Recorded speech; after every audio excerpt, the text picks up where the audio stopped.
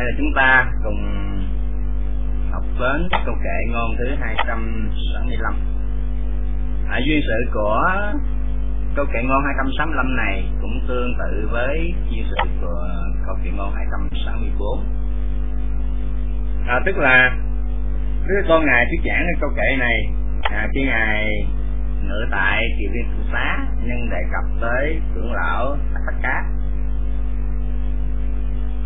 ngay cả cái tên gọi của trưởng lão à, cá ở dường như đây không phải là một cái tên mà đó là một à, cái hiệu hiệu. Cá là cánh tay. Hataka là cái người như cánh tay. À, tức là thường hay co duỗi. À, tức là à, không có cái sự chắc chắn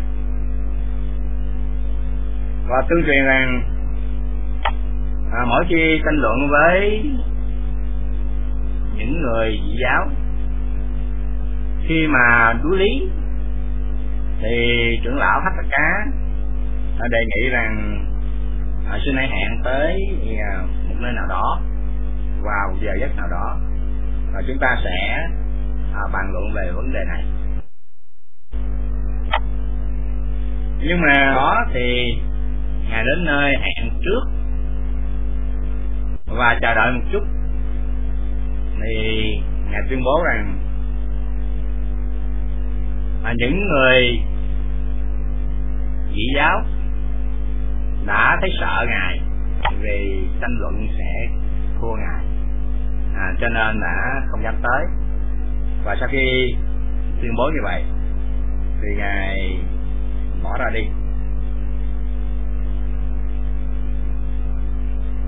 Thì nhiều lần như vậy á. Cho nên những người đệ tử của ngoại giáo đã chê trách rằng đệ tử của Sa môn Gautama là người sống lừa đảo, tức là không có thành thật. Và câu chuyện này được đưa trình lên Đức Thế Tôn.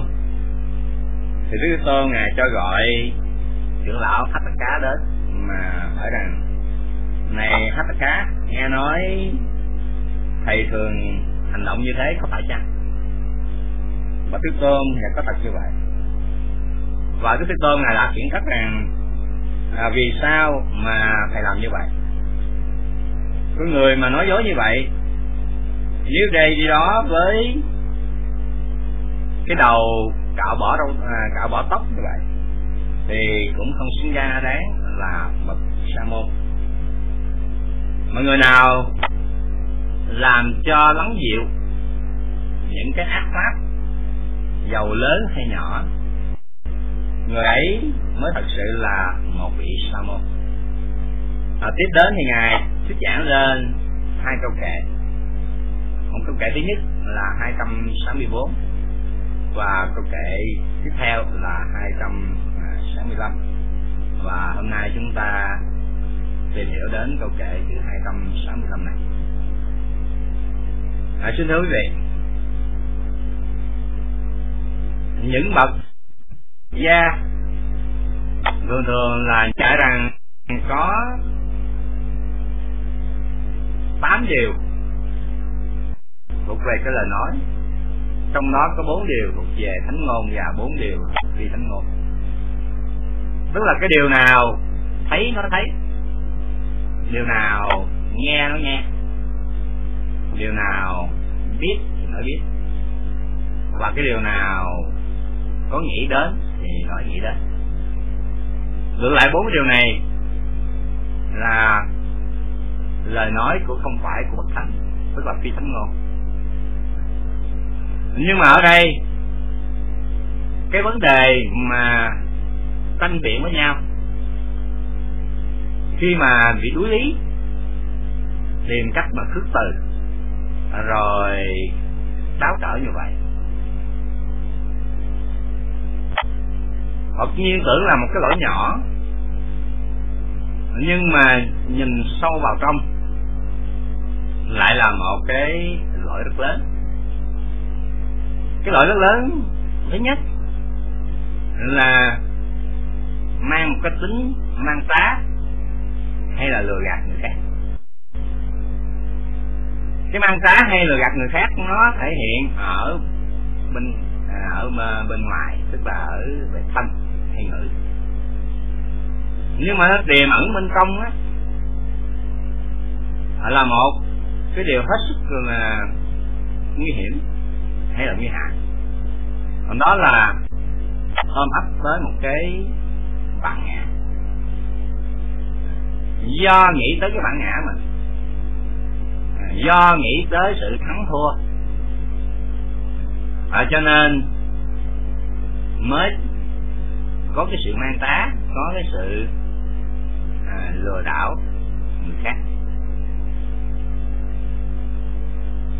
Mà khi có sự thắng thua tức là từ một cái sự kiện nhỏ như thế nó sẽ dẫn tới một cái tác hại lớn.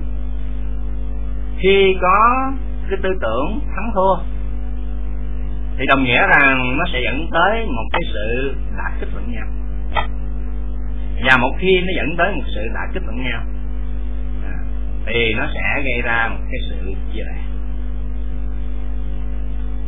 Mà môn đệ của đức thế tôn thì không bao giờ có ý nghĩ tranh hơn hay tranh thua và môn đệ của đức thế tôn là cái người luôn luôn đi tầm cầu chân lý.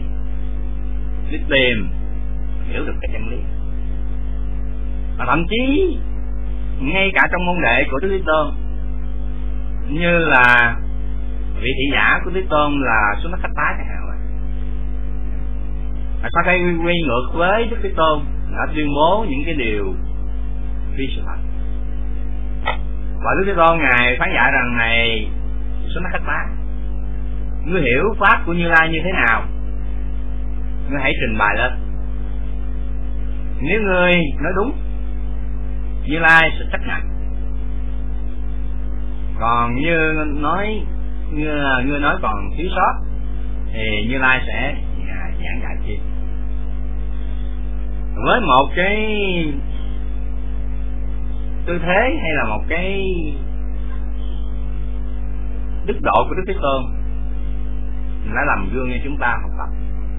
Và chính đức thế tôn ngài cũng dạy rằng, người nào biết rằng trong cuộc tranh luận này ta sẽ chết, thì lập tức làm lắng dịu cuộc tranh luận ấy ngay.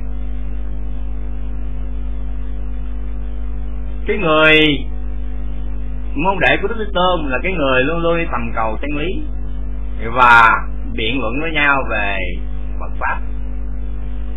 Để tìm hiểu được những cái chân lý ở trong đó, chứ không phải do tanh hơn hay tanh thua. Vì sao vậy? Bởi vì còn tanh hơn tanh thua là nó nó có ẩn tàng một cái pháp rất nguy hại. Đó là cái ngã mạng ngoài ôm ấp cái cái bản ngã, tức là một cái thân kiến hay là một cái tôi ra, thì nó còn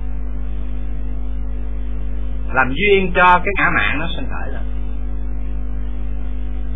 Nhưng mà ngài Hataka lại không à, nắm vững cái điều này. À, Phật duyên à, chúng ta thấy rằng là một cái sự à, mang tá như vậy. À, nó chưa có cái tác hại. Nhưng nó sẽ là một cái chướng ngại rất lớn à, đối với cái người tầm cầu sự giải thoát và đức thế tôn này cũng phải dạy rằng những bậc hiền trí ngày xưa đó khi khởi lên một cái ý nghĩ xấu thì những bậc hiền trí đó còn rai rứt không yên tâm chứ không cần cần gì phải thực hiện ra bằng thân hay bằng cái lời nói. Mọi ngày thuật lại câu chuyện à nó rú thăm mát à, tức là cái cộng pháp ở Sikuru nó có chuyện rất dài nhưng mà để ừ, trích ra một điều à, để mà cho quý vị thấy. Là thở xưa của bồ tát của chúng ta đó là một cái vị vua. Và để vào cái ngày lễ đăng quang của ngài khi mà lên làm vua đó thì theo phong tục thời bây giờ thì ngài bắn bốn mũi tên ở bốn phương. Khi ngài bắn bốn mũi tên ra bốn phương xong lập tức ngài cho người đi tìm những cái mũi tên lại. Vì ngài e ngại rằng những mũi tên của ngài sẽ làm tổn thương đến những sinh vật, làm hại những sinh vật.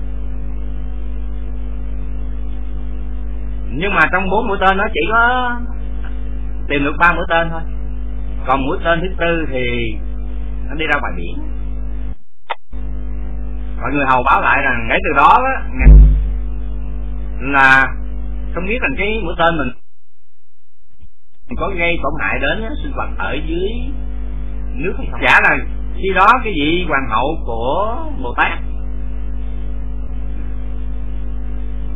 Bà hoàng hậu này một hôm à, nhìn thấy đức vua cùng với vị phó vương là em trai của đức vua cùng đi duyệt binh bà đứng trên lầu cao và nhìn xuống. Thì với vị phối vương còn trẻ và dốc dáng thanh tú. Họ trái tái lại đó là cái vị khởi lên một cái ý nghĩ như vậy. Thì bà chợt khó thật và bà nghĩ rằng ta là một cái người nữ đã có chồng ta không có nên có một cái tư tưởng hướng về một cái người nam khác ngoài chồng mình. Nè và cứ ra rứt như vậy. Ở những bậc hiền trí ngày xưa bồ tát chúng ta khi mà có một cái hành động mà dù rằng chưa phải rằng cái hành động đó sát hại đến chúng sanh khác mà e rằng à, sát hại chúng sanh khác ngài cũng còn ái nái bà hoàng hậu tức là tiền thân của bà gia du đà la khởi lên một cái tư tưởng xấu như vậy. À, mà vẫn còn họ rai rứt à, cũng còn băn khoăn. À, cho nên chứ không phải là thực hiện à, bằng thân hay bằng ngữ như là trưởng lão uh, ác cát vậy. Cho nên đức là tôn ngày dạy lên hai cái câu kệ như vậy. Và bây giờ chúng ta sẽ bước vào cái câu kệ thứ nhất à, xin lỗi câu kệ thứ 265 kệ ngôn thứ nhất là vô chắc saneti babani tức là cái người nào mà đang làm cho yên tĩnh những cái ác pháp hay là những điều xấu ác. Ở đây cái chữ yên tĩnh này samadhi nó có hai ý nghĩa. Một là dùng cái pháp là tạm thời làm cho nó yên lặng. Hai là áp chế đi những cái ác pháp. Bởi vì sanity nó ở trong một cái thì hiện tại. Hiện tại. Nó đang làm cho những cái ác pháp nó yên lặng thì Phật giả rằng dùng cái cách tạm thời giải thoát hay là tạm thời làm cho yên lặng. Là như thế nào? Khi một cái tư tưởng xấu khởi lên, thì người này chú ý ghi nhận và biết rõ những tư tưởng đó, thì lập tức cái tư tưởng đó nó sẽ bị mất đi và thay thế vào đó là một cái tư tưởng thiện. Bởi vì sự chú ý hay niệm đó, khi mà mình nhận thức được biết được cái tâm nó ác xấu. Cái tâm nó rơi vào tham tâm nó rơi vào sân si ngã mạn hay là bạc chiến. Ừ. Mà mình ghi nhận được nó thì bây giờ cái tâm đó nó sẽ mất mất đi. Và thay thế vào đó là một cái loại tâm thiện. Cách này được gọi là tạm thời giải thoát. À, thoát ra những cái điều ác xấu. Làm những điều ác xấu này ngay ở trong cái tư tưởng ngay ở trong tâm nó bị chấm dứt bởi những cái pháp niệm. Hoặc giả rằng khi những cái điều ác xấu nó xuất hiện từ trong tâm nhưng mà cái người này à, do phóng dật à, không nhận thức được những cái điều ác xấu đó.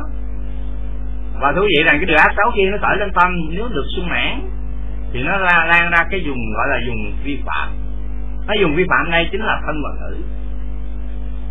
Thì khi nhận thấy cái điều ác xấu mà nó rơi vào cái thân ngữ đó thì người này quay trở lại giới bổn. Quay trở lại học giới. Bởi vì những cái giới bổn hay là cái học giới của mình mà đức thế tôn ngài chế định cho chư tỳ khưu hay giảng dạy cho những hàng tại gia cư sĩ. Thì ngăn ngăn chặn những cái điều ác xấu, nó khởi lên từ thân hay ngữ. Từ thân hay ngữ. Ngài cũng giống như là một cái vị cha lành rất là thương những đứa con. Và ngài biết lượng tâm tánh những đứa con của mình. Có đứa thì dễ dạy có đứa thì biết nghe lời cha mẹ mà cũng có đứa thì bướng bỉnh. À, có đứa thì lại ham vui. Và ngài biết được cái dùng nào là nguy hiểm là hố sâu là vực thẳm. Và dùng nào là an toàn. Cho nên ra chung quanh những cái hố sâu vực thẳm hay cái dùng mà không được an toàn đó ngài cho dựng lên những cái hàng rào và dặn những người con á, là hãy ở à, ở trong những cái vòng tàu này nó sẽ được an lành nó sẽ không có bị những cái tai nạn nó sẽ không bị những nguy hiểm. Nhưng mà có những cái đứa con mà dễ dạy thì luôn luôn ở trong một cái vùng an toàn đó. Trái lại có những cái đứa con bướng bỉnh hoặc là có những đứa con ham vui. Mà mon men ra ở những cái vùng vực sâu hố thẳm hoặc là những vùng nguy hiểm đó. Thì gặp cái hàng rào đó và những đứa người con này tỉnh táo quay ngược trở lại thì như vậy sẽ không rơi vào à, nguy hiểm. Như thế nào cũng vậy. Những học giới mà đức thích tôn ngài chế định cho chư vị cư cũng ví như cái hàng rào đó như vậy. Với những đứa con mà dễ dạy tức là luôn luôn à, chăm chú vào cái tâm của mình để mà phát hiện những ác bất thiện pháp nó đang sinh khởi lên và lập tức diệt trừ ngay. Hay là làm cho lắng dịu ngay. Nhưng mà còn có những đứa con nó à, ham vui hoặc là nó bướng bỉnh. Nó không thực tập những cái pháp nằm đưa đến chứng đạt những pháp thiện nhân. Mà mãi không chơi chẳng hạn. Nhưng mà những đứa con này vẫn còn là những người tốt đẹp. À, khi chạm tới cái hàng rào đó cũng giống như cái tâm tôi rằng nó bị tham bị sân bị tà chiến hay là những cái bị à, những cái ác pháp nó chi phối nó tăng trưởng lên nó lan ra tới cái dùng thân và nữ. Và khi ngày này sắp thực hiện cái việc làm đó sắp thực hiện việc làm bằng thân hay là sắp thực hiện việc làm bằng ngữ và chợt nhớ lại cái điều học này đức thích tôn ngài đã ngăn cấm ngài đã chế định không cho một vị tỳ khưu, không cho một vị sa môn ở trong giáo pháp này được quyền vi phạm.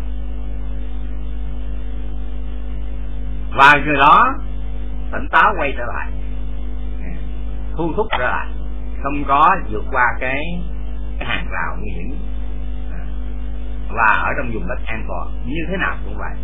Với một cái tâm của một người hành giả hay là một cái vị tỳ khưu khi phát hiện được những ác bất thiện pháp thì chú ý để mà diệt liền. Cách này gọi là tạm thời giải thoát.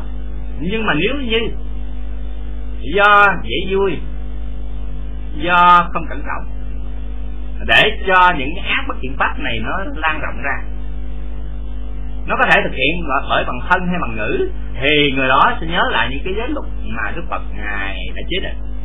Và từ trước không làm và mỗi khi không làm như vậy thì được thoát ra cái một cái tội lỗi. À, thoát ra được một cái ác bất thiện pháp. Thì cái uy lực của sự chế định học giới của Đức Tôn đem đến sự an toàn cho chư tỳ khưu, ngăn trừ những ô nhiễm đang có và ngăn trừ những ô nhiễm sẽ sanh trong tương lai do những cái lợi ích đó cho nên Đức Phật ngài mới chế định cái học giới. Nhưng ở đây chúng ta bàn về cái chữ samatthi à samatthi có nghĩa là đang làm cho yên lặng. Làm yên lặng tiếng nhất. À, tức là dùng cái tạm thời giải thoát. Lần thứ hai là dùng cái pháp môn thiền định. Và thưa quý vị Đức Phật ngài dạy rằng á, cái người nào thực tập thiền định như vậy sau khi chứng được cái à, sơ thiền đó, à, thì những cái ác bất thiện pháp nó nó sẽ không còn lưu giữ ở trong tâm của vị đó nữa. Mà đoạn kinh nhân cho chúng ta thấy như vậy. Vị tỳ khưu ly ác bất thiện pháp tức là lìa bỏ ác bất thiện pháp chứng và trú sơ thiền một trạng thái hỷ lạc do ly dục sanh có tầm có thức thì cái người nào mà tu tập thiền tịnh, thì cái cách này được gọi là cái áp chế giải thoát. Làm cho những ác bất thiện pháp, nó không có cái cơ hội nó sanh khởi trong tâm. Bởi người này chứng đắc được cái sơ thiền. Đã lìa bỏ những ác bất thiện pháp chứng và trú được cái sơ thiền một cái trạng thái hỷ lạc do cái ly dục sanh. Những cái ác pháp mà nó sanh khởi lên cũng từ sắc tinh hương vị xúc. Mà lìa bỏ cái duyên khiến cho những ác bất thiện pháp sinh khởi lên, tức là lìa bỏ, không còn luyến lưu tới sắc tinh hương vị xúc nữa. Thì giúp cho cái người hành giả đó nói chung hay là môn đệ của đức thế tôn, nói riêng đã áp chế đi những cái ác bất thiện pháp đó. Và chữ tí ở đây, nghĩa là lắng dịu hay làm an tịnh đó, nó còn đồng nghĩa cái là ở góc độ cao thì có nghĩa là sự từ diệt. À, Không còn nghĩ tới nó nữa là từ diệt. Và có một ví dụ về để chúng ta chúng ta thấy rằng làm yên tịnh nó đồng nghĩa nó từ diệt. Bởi vì những ác bất thiện pháp nó như cái ngọn lửa vậy mặc dù ngọn lửa nó không có lớn, nhưng mà lúc nào nó cũng tỏa ra cái hơi nóng và nó sẽ thiêu đốt cái thân tâm này nhưng mà Samiti làm yên lặng, tức là làm cho ngọn lửa kia nó tàn rụi ngọn lửa nó tàn rụi bằng cách là dùng nước để dập tắt nó. Thì ngọn lửa đó được yên tĩnh và nếu như ngọn lửa này mà nó không có cơ hội sinh khởi lên à, trong tương lai nữa thì sẽ như là một cái sự trừ diệt. Ở trên xin thưa vậy với một cái câu kể thứ hai Đức Phật ngài dạy rằng là Anung Thulani Sapaso tất cả những cái ác pháp nó dù thô hay tế. À, thì luôn được ngài tự bảo thiên quốc giải thích là cái phần rất nhỏ. Nhưng ở đây khi đối chiếu với chữ thua la ní có nghĩa là phần thô. À, phần thô là cái những cái ác bất thiện pháp mà chúng ta dễ nhận thức dễ biết. Có thể là hiểu rõ. À, nhưng mà anh út cái gì nên nhớ chữ anh nú anh n có chấm dưới là phần nhỏ, phần ít. Nhưng mà anh nú mà anh n mà không có chấm dưới đó là tùy theo, là đi theo. Đây là cái phần nhỏ, phần rất ít. Nhưng ở đây đối chiếu với à, chữ thu anh ý có nghĩa là phần vi tế. Cái phần vi tế này nó rất đặc biệt. Và những cái phiền não nó vi tế, hay là những cái ác pháp nó vi tế và đức phật ngài muốn ám chỉ là những cái pháp nằm trong cái vùng ngủ ngầm. Nhớ cái vùng mà tùy nhiên. Từ ở cái, cái nơi đó đó nó xuất phát ra. Khi có một cái nhân duyên nào đó thì nó sẽ khởi hiện lên để nó tràn ngập ở cái tâm. Và nếu như không ngăn chặn kịp thì cái tâm nó sẽ lan vào à, cái dùng gọi là vi phạm tức là thân mật tử tức là ngày chỉ ra những ác bất thiện pháp nó dù thô hay dù tế thì cái người này cũng phải làm cho nó chuyên phận. À, tất cả những cái ác bất thiện pháp nó thô hay nó vi tế. Mà cái dùng vi tế muốn nhận thức được thì cái đòi hỏi người đó phải như thế nào? Đòi hỏi cái người đó phải có một cái thời gian thực hành pháp rất là điều đặn và đồng thời rất nỗ lực để mà à, thực hành pháp một cách nghiêm túc không có kinh thường. Chính vì cái dùng tùy miên này nó vô cùng nguy hiểm. Ngay cả bậc đại trí ngày xưa tức là bồ tát chúng ta ngày xưa. Khi còn là bồ tát, cũng chỉ vì một cái chút tùy miên do tham dục ngủ ngầm nó sinh khởi lên. Mà ngài phải tất cả những thiền chứng tất cả những pháp thành thông. Và ngài kinh sợ vị bồ tát chúng ta kinh sợ. Sau khi được an toàn, ngài từ giả cái kinh thành đầy ví dụ đó ngài lui vào rừng trước lạnh ở trọn cuộc đời đó đây là câu chuyện của bồ tát à, à Lohanska bồ tát của chúng ta. Cho nên cái Phật ngài cho chúng ta thấy rằng dạy chúng ta rằng tất cả những cái ác pháp dù thô hay vi tế tức là dù nó xuất hiện ở thân hay ngữ hay là nó ở những cái vùng ngủ ngầm dùng thân hay ngữ thì có thể chúng ta nhận thức được nó là thô. Nhưng mà cái dùng ở tâm nó là mức độ trung bình. Nhận thức được những những ác bất thiện pháp mà nó khởi lên ở trong tâm thì đòi hỏi người này phải thực hành pháp và đồng thời phải có cái trí tuệ cao để mà nhận thức được à, những cái ác bất thiện pháp ở trong tâm của mình mà nhận thức được bất bất thiện pháp đó đủ chưa? Xin thú nhận chưa đủ. Chưa đủ. Người này đã nỗ lực rồi. À, nhưng mà đối với những ác của thiện pháp nhận thức rồi. Diệt trừ phải đúng. Thế thì còn những thiện pháp như thế nào? À, những thiện pháp là pháp cần phải làm cho tăng trưởng.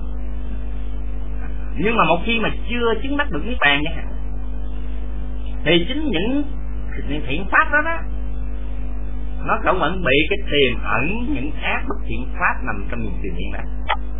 Chúng ta thí dụ với một người phật tử chúng ta nghe pháp, học pháp, để mà mong mỏi được cái trí tuệ,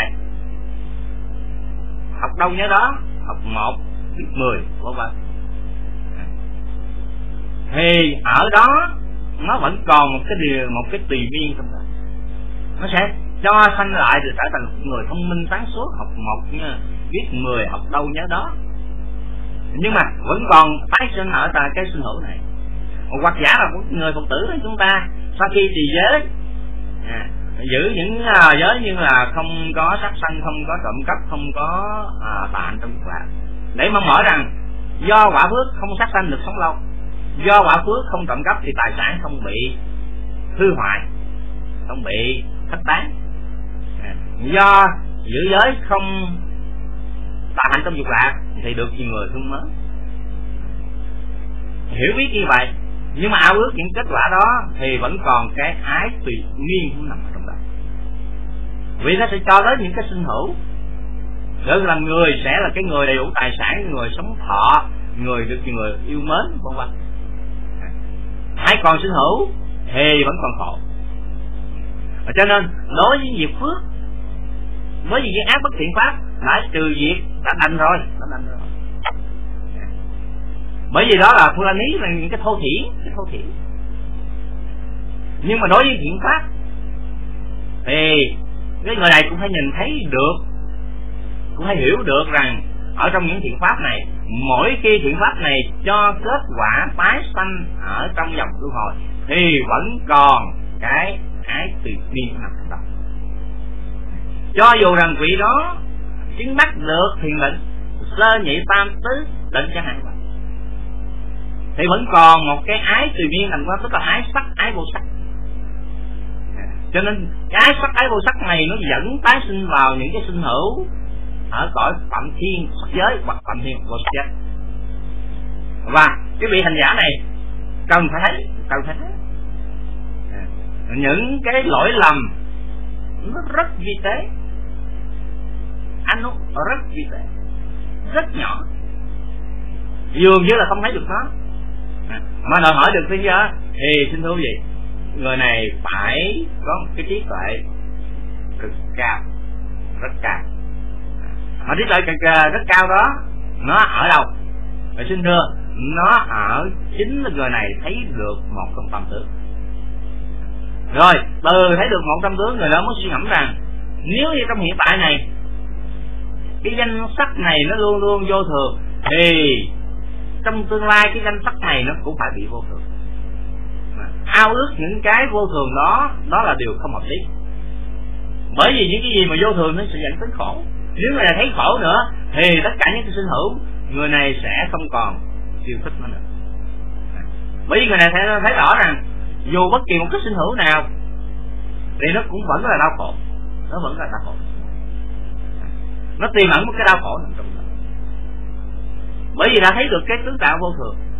Và chúng ta nói rằng khi mà cái người mà nhận thức được những cái lỗi lầm nó rất vi tế tức là những cái, thấp pháp ngủ ngầm đó, đó là đòi hỏi cái người này có một cái trí tuệ cao rất cao. Họ trí tuệ cao, rất cao đây có nghĩa là thấy được cái sự sinh diệt của các pháp. Đánh là thấy được cái tướng tạo vô thường.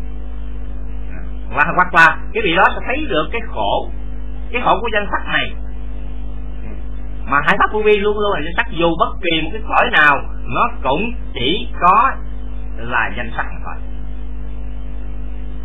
Chứ không ai, không thể à, cắt hơn được mà giới sắc là khổ cho nên sẽ không có liếm luôn không có ao ước bất kỳ một cái sinh hữu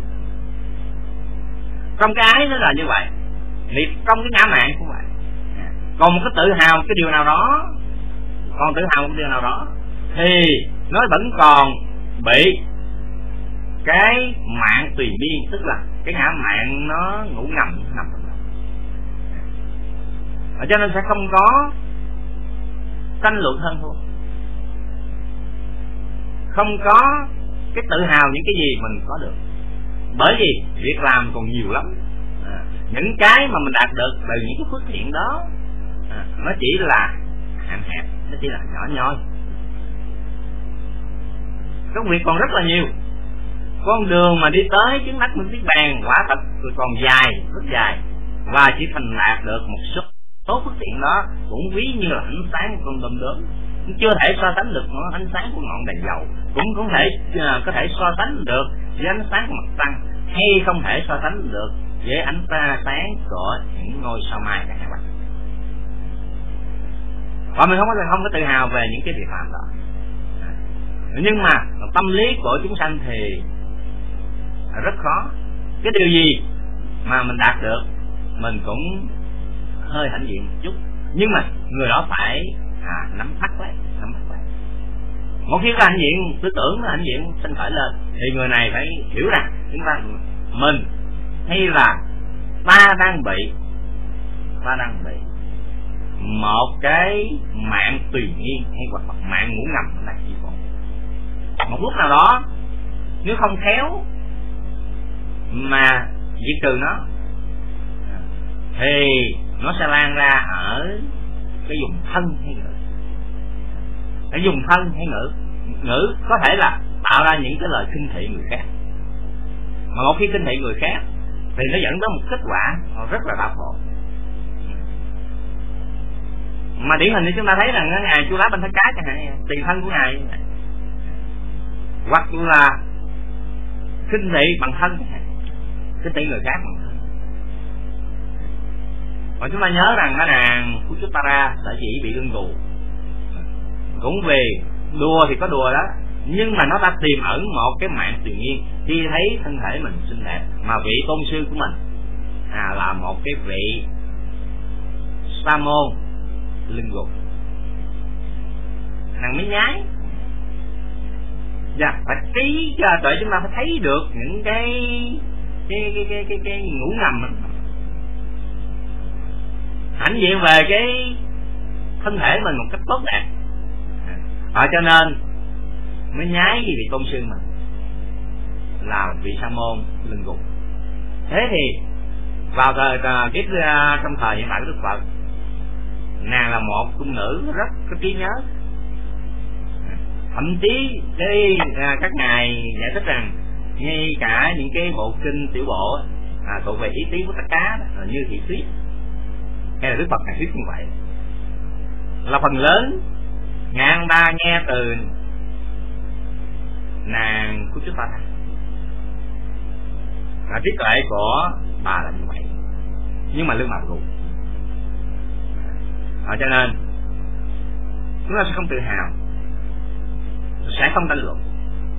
À, tranh luận nó dẫn tới một cái sân tùy nhiên muốn thắng người nó dẫn tới một cái sự đã kích lẫn nhau chém giết nhau bằng hung khí đã chấp nhau bằng danh khí lửa cho nên câu kệ thứ hai này đức phật ngài dạy, ngài nhấn mạnh những cái ác bất thiện pháp thô, tu la ni biết từ việc đã làm rồi. Nhưng mà còn cái gì nữa? Còn cái những cái ác bất thiện pháp nó vi tế rất nhỏ. Anh út hay là anh út à. thì cần phải chấn chỉnh phải làm sao cho nó yên lặng nằm trong và đối với câu kệ thứ ba. Samipapa hi Bapana làm yên lặng những cái tội lỗi. Ở đây Samipapa lại là quá khứ phân từ của cái chữ Samati à, Samiti nếu Samiti ở trong thì hiện tại, thì cái chữ Sami Tắp nó ở trong thời quá khứ. Có nghĩa là cái quyền ông này Đức Phật dạy rằng, đã làm đã làm yên lặng những điều tội lỗi. Hay là đã trừ diệt những cái điều tội lỗi ở Samadhi ở trong thì hiện tại thì ở cái chữ à, Samitapa này ở trong cái thời quá khứ tức là đã làm xong. Nói cách khác để dễ hiểu hơn. Thì cái chữ à, Sameti có nghĩa rằng đang thực hành pháp. Đang thực hành pháp. À, để trừ diệt đi những cái ác bất thiện pháp từ thô thiển cho đến cái vi tế tức là những cái ngũ ngầm ở bên trong. Từng phần một. Mà trước tiên là gì? À, trước tiên là trừ việc đi cái ngã kiến của mình. Bởi ngài hát tất cá chỉ vì chấp ngã chỉ vì cái tôi. À, cho nên ngài hát tất cá này mới sớ chiêu mới lường gạt người khác. Và nó là một cái một một cái cái cái cái cái cái, cái kiến tùy miên nó nằm ở kiến ngủ ngầm nằm ở trong đó.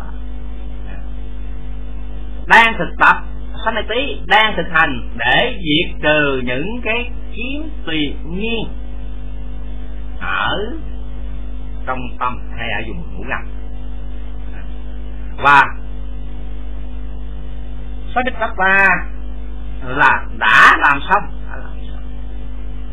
tức là cái câu kệ đi thứ ba này đức phật ngài ám chỉ rằng đã thành tựu được. Và thành tựu này, những cái điều ác xấu. Những điều ác xấu. Đã bị trừ diệt. Đã làm cho an tịnh hoàn toàn, tức là đã lắng dịu hoàn toàn.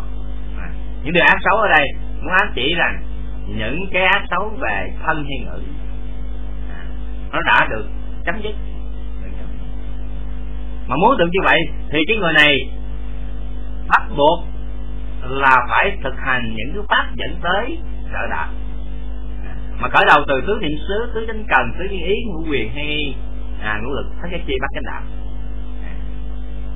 Và thành tựu được bắt chánh đạo thì bây giờ mới diệt trừ được thân kiến hoài nghi với xuất thủ đối với bậc tu đầu vợ rồi diệt trừ đi những cái tham dục sân hận của bậc thánh a diệt được tất cả những cái ô nhiễm.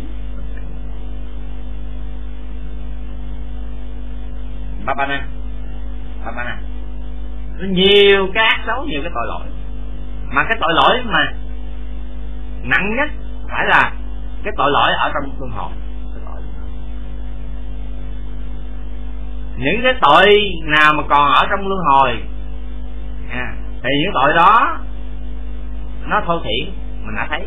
Nhưng cái tội vi tế nhất, đó là cái tội còn tái sinh trong luân hồi và vị đó phải làm an tịnh, đã làm an tịnh à ta. Những cái tội lỗi, tất cả những cái tội lỗi, những tội lỗi mà nặng nhất chính là cái tội lỗi còn tái sinh trong luân hồi và cái tội lỗi mà tái sinh trong luân hồi đó đã làm cho thiên tịnh muốn ám chỉ đó thánh quả à là hay tức là câu kệ thứ nhất, đức phật ngài dạy là thực hành về giới phật định. Câu hai kệ thứ hai, đức phật ngài dạy là thực tập hay là thực hành được cái phần trí tuệ. Để nó nhận thức được những cái tội lỗi thô tiễn những cái tội lỗi vi tế cho dù rằng đó là phước thiện, thì cũng phải nhìn thấy những cái tội lỗi vi tế nằm ở trong đó. Bởi nên xuất phát từ cái vùng ngủ ngầm. Và câu kệ thứ ba là muốn nói lên những cái sự thành đạt của vị đó là là chứng đạt được sơ quả, nhị quả, tam quả, hay tứ quả. Mà nói cách ngọn hơn là vị đó thành tựu được niết bàn. Và câu kệ thứ tư, thì đức phật kể dạy rằng samano tí bát vũ sa tí cái người được như vậy đó mới được gọi là bậc sa môn, tức là bậc bình hạnh. Cái sa môn, bậc bình hạnh này là làm cho thân ngữ nó không rơi vào cái ác bất thiện pháp. Mà ngay cái tâm lý nó cũng không có bị nhuốm cái mùi của bất thiện pháp. Ở chúng ta mà chưa chứng đạt đến niết bàn, hay nó cái gác từ bậc a na hàm à trở xuống. Mặc dù các ngài vẫn có thể thấy được cái nguy hiểm của sinh hữu thấy được một cái tâm tướng. Cũng ví như là một khúc gỗ nó ngâm vào nước, được vớt ra, nó phơi khô rồi. Nhưng mà khúc gỗ đó vẫn còn cái mùi của cái loại nước ngâm ẩm đó. Như thế nào cũng vậy thì từ bậc thánh a hàm thở xuống nó vẫn còn cái những giọt nước hay là những cái mùi của cái sinh hữu được ngâm tẩm từ lòng à, tức là còn cái hữu ngủ ngầm. À, cái hữu tự nhiên. Và mỗi khi chứng đạt niết bàn thì xem như được gọi là bậc an tịnh. Bởi vì làm cho an tịnh ba cái ngọn lửa thân kiến hoài nghi với góc độ. Dập tắt trọn vẹn ba cái ngọn lửa này. Hoặc giả rằng, ngay cả bậc thánh à, dự lưu thì làm cho dập tắt hai cái đống lửa tà kiến và hoài nghi. Và hai bức là hai cái đống lửa này không bao giờ sinh ra trong tương lai. Một ý nghĩa tịnh hạnh hay là bậc à, công sạch sa môn muốn nói là cái vị đó sẽ không còn lưu giữ một cái ác pháp nào ở trong tâm này. Muốn nói với bậc tánh a la hán nhưng ở trong mức độ thấp hơn thì cho chúng ta thấy nè, ngay cho bậc tánh dự lưu thì cái ác pháp hoài nghi và thân kiến sẽ không còn tồn tại ở trong tâm ngài. Ngay cái dùng tùy miên hay là dùng ngũ nằm cũng sẽ không có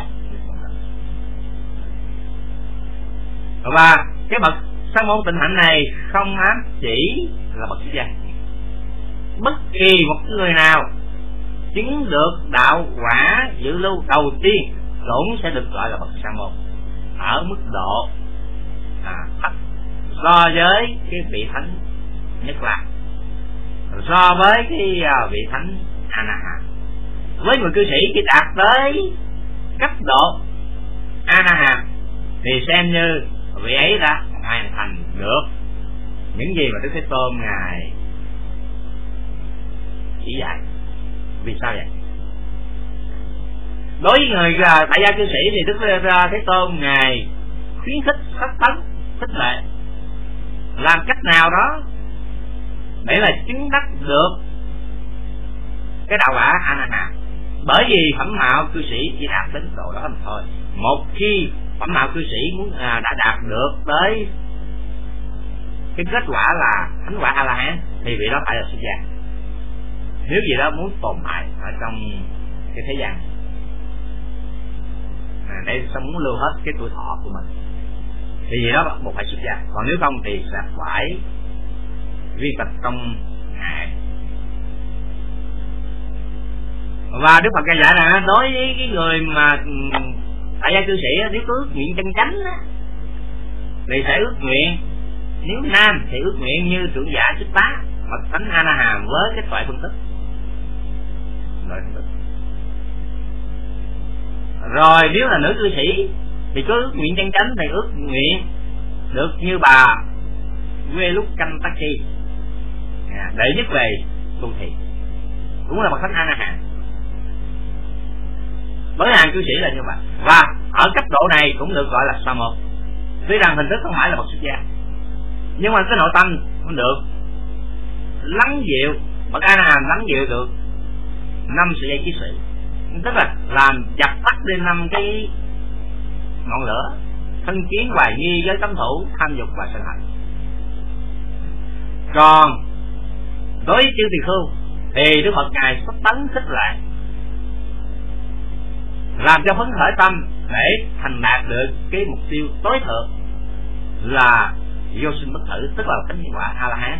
Bây giờ thì cái chữ sa môn này được gọi là sa môn trọn vẹn không còn một cái ác bất thiện pháp nào từ thô thiển. Từ ở ngoài dùng thân ngữ, cho đến trong dùng tâm, cho đến trong dùng tùy mi, dùng ngũ ngầm, tất cả đều sạch sẽ, hoàn toàn. An tịnh à, trong sạch, hoàn toàn luôn.